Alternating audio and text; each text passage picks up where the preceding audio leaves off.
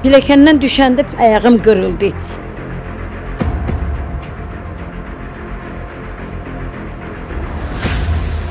Gedin nə edirsiniz elən çıxarsınız burdan. Elə mən deyir polisi töküm, elə mən deyir falan kəsi töküm. Bilməsə sizi sürüyüm atım eşiyə.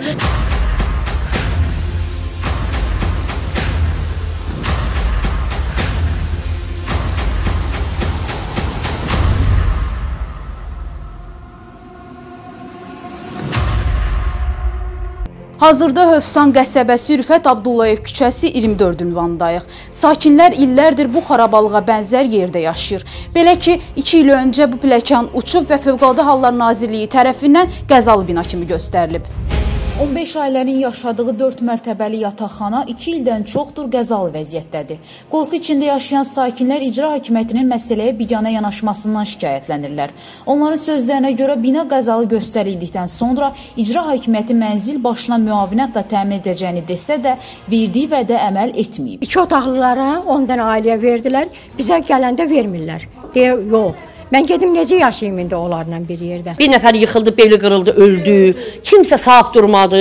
Bir nəfərin yenə beli qırıq var 3-cü mərtəbədə. Bax söktülər, gəldi icradan belə yanında misir işçilərin gətirdi, lomla, lapaka ilə. Bax bu gördüyünüz evləri söktülər. Onların hamısını yola saldılar, plat elədilər, pulların getdilər. Pilləkəndən düşəndə ayağım qırıldı. Birinci mərtəbədə bir Elmirə xanım var idi. Pilləkəndən düşəndə dəydi yerə öldü. Solmaz adında qadın var, beli sınıb. İcraya da gedirik, baxmırlar bizə. Baxmırlar, heç gəlirlər maşın maşın. Haydi köçün. Anam var burada pilləkəndə yıxıldı, rəhmətə getdi. Danışmayın, dinməyin. Danışmadıq, dinmədik. Dedi ki, əbi yox.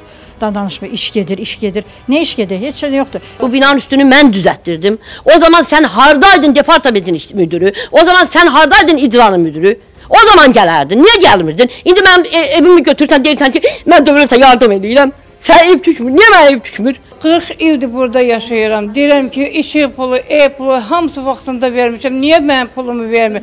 Niyə ev- evin pulu vermir? 40 ildir burada yaşayıram. Kimə şikayət edir? Kim Azərbaycan kimə şikayət edir daha? Biz icraya getmişik xanım. Nə vaxt icranın üstünə getmişik, icra bizə deyir ki, get ürəyin hara istəyir şikayət elə. Biz baxmayacağıq ona. Deyir biz siz kim, biz kim? Hara git ürəyin istəyir ki, şikayət elə. Harda görülüb iki ailəni bir yazıb. Mənim qardaşımın arvadı təzəliklə burada yıxıldı, iki dənə əkiz uşağını itirdi. Belə nə olur? Gedin nə edirsiniz elən çıxarsınız burdan. Elə mən deyir polisi töküm, elə mən deyir falan kəsi töküm. Bilməsə sizi sürüyüm atım eşiyə.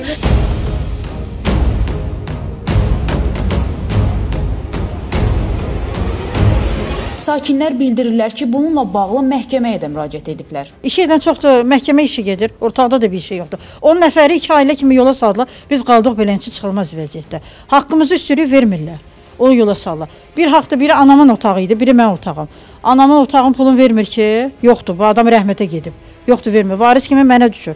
Vermir. ailənin tərkibini bir göstərib, bizə bir maddi vəsait ayır- ayırdığından bu səhvlərini düzəltmək istəmirlər. Dolayısıyla biz məcbur olub hər də qəzalı binada son mənzil yaşayış yerimizdir deyənə yaşamağa davam edirik. Çünki 35 min manat vəsait ki verirlər, həmin vəsait bizim ailələrin nə mənzil almaq, nə ümumiyyətlə yəni torpaq alıb ev tikməyinə yetərli deyil. Hər otağa, hər bir dənə otağa 35 mindən dövlət prezidentin qərarı ilə dedilər ki, bura e, məsələn yataqxana olduğu üçün burada şeylə bir kvadratdan verilmir. Hər otağa 35 min pul ayrılacaq. Biz də razı olduq, oturduq. 1 il nə qədər keçdi? 1 il 8 aymı, 9 aymı belə keçdi.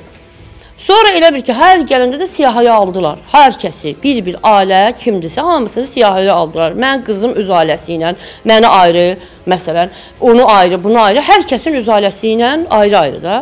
Axırıncı siyahını alanda bəs burada qohumlar var, falanlar var, behməkanlar var. Qohumları biz bir yazırıq, bir ailə yazırıq. Ana, oğlu bir ailə yazırıq. Qohumları bir ailə yazırıq. Bəli, evləri xırdaladılar. 94 ailə e, otaqdır. 94 otaqdan 71 dənə otaq yazdılar. Qızım 2 uşağı, 2 uşağı oğlu olubdu. İlk uşağı əri özü 4 ailədilər. Onların pulu ayrılmayıb. Belə-belə 17 ailənin pulunu ayırmadılar. Hələ icran e, müdürü etibar mənim gəlmə. Mənlik deyil ustada. Sizdən kağız alacağam ki, bu bina usta mənlik. Kimlikdir? Qoymuşam qabağına, deyirəm orderim var. İki otağın orderi var. Əslində mən üç otağım var, birini hamam tualet elə, eləmişəm. Deyirsən dövlətin evini nətər hamam tualet? Deyirəm satmayardınız. Orderim var əlimdə, amma deyir ambardır. Orderə 91-ci ildə mənim orderim var iki otağa. Deyir ambardır. Orderə niyə veriblər ambarı? Sən veribsən, sən qol çəkibsən, o birisi qol çəkib. Niyə veribsiz orderi? Ambara niyə order veribsiz? Niyə mənim başımın altında 91-dən yastıq qoyubsuz bu günə qədər? Məhkəmələr də baxmır, vəkil də yeyib, şeydir, onlar da yeyib, pullarımızı yeyib, heç nə alınmır. Kimə şikayət elə, kim kim qalıb, kimə demir? Sözü gedən məsələ ilə bağlı Suraxanı rayon icra hakimiyyətinə müraciət etdik. Qurumun təsərrüfat şöbəsinin müdiri Mehman Hüseynovun sözlərinə görə həmin binada yaşayan ailələrə 35 min manat birdəfəlik maddi yardım ödənilib. Nazirlər Kabinetinin ə, müəyyən sərəncamına əsasən orada yaşayan ailələrə birdəfəlik maddi yardım ayrılmışdı. Suraxan rayon icra hakimiyyətinin başçısının sərəncamına əsasən işçi qrup ə, komissiya yaradılmış. O yataqxana binasının siyasi dəqiqləşdirilmişdi. Orada 71 ailə və 3 qeyri-yaşayış e, sahiblərinin sahiblərinə maddi yardım ayrılması nəzərdə tutulmuşdu. Qurum rəsmisi bu məsələdə sakinlərin saxtakarlığa yol verdiyini deyir. Komissiya e, əhali ailələrin sayını dəqiqləşdirən zaman e, saxtakarlığa rast gəlmişdi. Məsələn, süni yolda boşanmalar və yaxud bir ailədir, atadır, qızdır, öz aralarında mənzili alqı-satqı yolu ilə bölməsi. Fövqəladə Hallar Nazirliyinin rəyi var, hansı ki ə, o rəyin tarixindən sonra onlar o kupçada alqı-satqı eləyiblər, bağışlama eləyiblər və ya məsəl üçün bir ailədir, atadır, anadır. Yaşayıblar bir ev kimi, bir ailə kimi yəni eşidəndən sonra ki, bina qəzalıdır, orada maddi yardım ayrılacaq hər ailə başına süni yolla götürüb yəni evi bölüblər iki yerə. İndi də iddia eləyirlər ki, burada iki ailə, fərqli-fərqli iki ailə, amma hansı ki bir ailədir. Məsələni araşdıran hüquqşünas Namiq Mustafayevlə də telefon bağlantısı yaratdıq. Onun sözlərinə görə sakinlər binanı boşaltmadığı üçün icra hakimiyyəti məhkəmədə iddia qaldırıb. Ailələr dəfələrlə icra hakimiyyətinə inzibati qaydada inzibati məhkəməsində kompensasiyanın ödənilməsi, bir dəfəlik maddi yardımın ödənilməsi adlar altında çox saylı iddialar qaldırdılar. Heç bir iddiaları təmin olunmadı. Məhkəmə bütün iddialarını əsassız hesab elədilər.